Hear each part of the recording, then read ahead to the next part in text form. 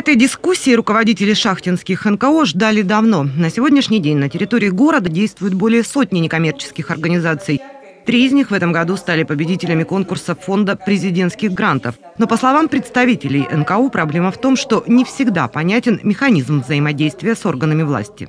Потому что ситуация не опробирована, не прописана, и власть со своей стороны боится, как ответственная, что-то сделать неправильно, что-то сделать э, не, не, не в рамках. А как в рамках никто не знает, потому что механизм взаимодействия не прописан. И каждое взаимодействие, оно начинается как бы заново под каждую организацию.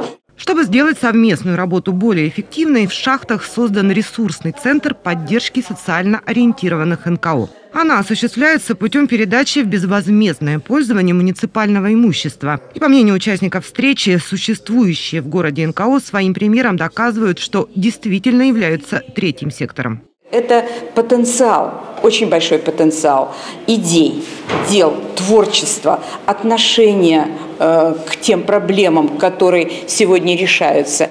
По итогам встречи ее участники договорились о взаимодействии на площадках городской и областной общественных палат, а также ресурсного центра поддержки социально ориентированных некоммерческих организаций. Мы сегодня э, услышали, что общественность города Шахты очень активная, хочет принимать участие в жизни города.